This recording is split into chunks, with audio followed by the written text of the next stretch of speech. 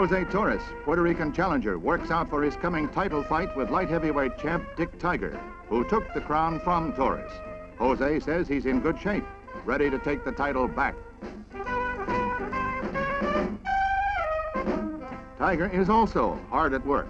The Nigerian champion, ignoring those who call his victory over Torres an upset, says he'll repeat the win.